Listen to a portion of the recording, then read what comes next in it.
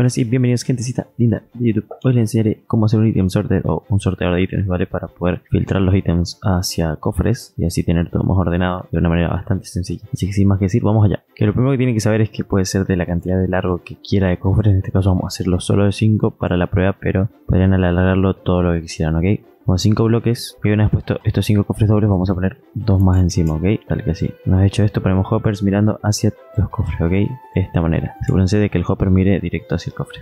Una vez hecho esto, haremos una hilera de bloques detrás y pondremos antorcha de redstone apuntando al hopper de abajo, ¿ok? Ahora, detrás de estos hoppers pondremos bloques y aquí pondremos comparadores. Una vez hecho esto, justo detrás del bloque donde está la lámpara de redstone ponemos repetidores, alargamos estos dos más y uno hacia abajo, ¿ok? Tiene que quedar tal que así. Una vez hecho esto, llenamos todos estos bloques de arriba de redstone. Bien, lo siguiente es poner hoppers mirando hacia cada comparador, ¿ok? Tienen que quedar de esta forma.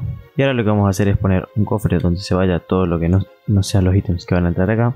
Y le ponemos hoppers mirando hacia él. Y aquí pondremos nuestro cofre en donde meteremos los ítems, ¿ok? Tiene que estar uno fuera del último, ¿ok? Ahora vamos a agarrar e iniciaremos con un junk y renombrar ítems, ¿ok? En este caso yo lo tengo renombrado, pero lo renombran al nombre que quieran y renombran por lo menos 32 o bueno los que necesiten para rellenar esto. Vamos a agarrar el hopper que está en el medio al que le apunta el comparador y vamos a poner 4 ítems de esta manera, ¿ok? En cada uno de los hoppers.